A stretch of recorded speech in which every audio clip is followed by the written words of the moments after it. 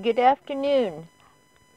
I'm doing a series of YouTubes, and I do want to warn you in advance my camera does cut out occasionally.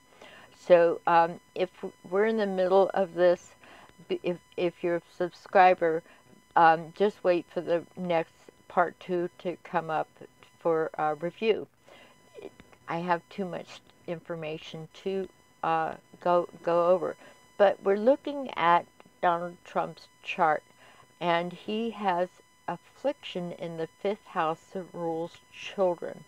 And you might remember these young people that uh, organized a rally around the world, not by the hundreds of thousands, but by the millions. And they became part of a movement to unseat Donald Trump and his cronies his money grabbing cronies because they will sell their souls for the lives of children. And that's not all. This is our POTUS. Um, and when we look at his chart, you're going to see why he ap appears to be red. He's just red. He's orange and he's red. And it seems to be a color of, of his choosing because there aren't any people we have many races on this planet, but he's we already had a black president. Now he's our our first orange president. This was a flash that I almost didn't write down. Uh, I, I encourage you to go to my Facebook group called Psychic Predictions for the World, and I gather up your predictions and sometimes I do specials just on the predictions of the uh, people that submit things. And I'm always saying, write it down, timestamp it. And this is a flash I got, and I I just I didn't want to put it down anywhere because it was too unbelievable. But that's the way things have been lately. It, it have been unbelievable.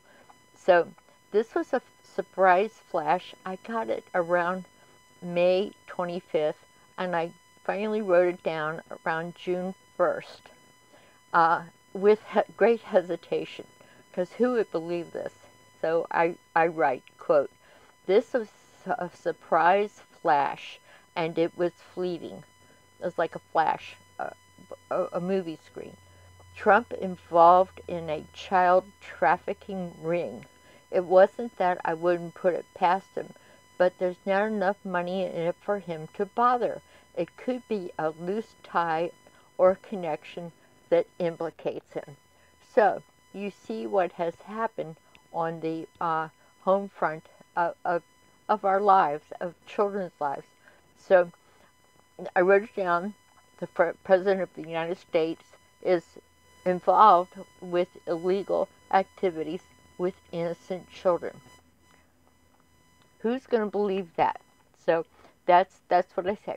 Write it down, record it. We have our computers to timestamp things.